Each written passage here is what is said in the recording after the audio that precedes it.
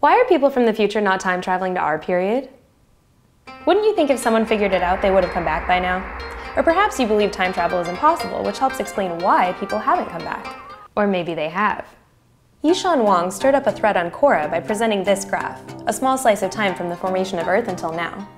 As you can see, if a future time traveler found the Earth to be an interesting destination in the first place, the chances of them choosing our time is pretty slim. You may be enjoying yourself, but let's be realistic. Our era may not be that interesting, relatively speaking, and it's dangerous. What if you accidentally show up in the middle of a war zone, get stuck in a machine or chemical waste, or get eaten by a fish? Aside from personal danger, it could be a threat to the whole universe. What if you traveled back into time and killed one of your ancestors responsible for your own birth? That's a heavy paradox that you probably wouldn't want to test.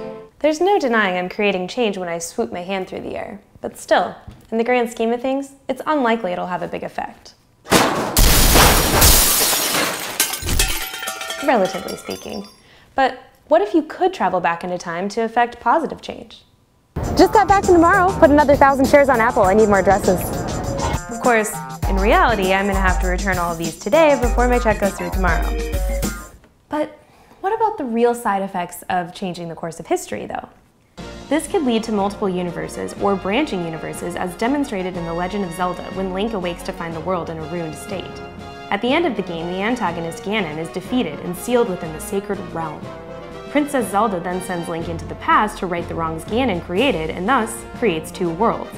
One in which Ganon is sealed away in the Sacred Realm, and one in which Ganon was merely imprisoned by the king.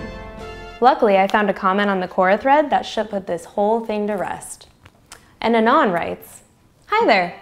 I was born in the year 2292 and am here as only one of a select few researchers to experience what life was like before the Great Redo, where incredible affluence preceded generations of warfare and malaise due to reckless resource planning and allocation, and other tragic practices I am contractually not allowed to tell you about. Because, internet. From whatever moment in time you're in now, now we're together in it. I'm Keghan, and this is Rocketboom.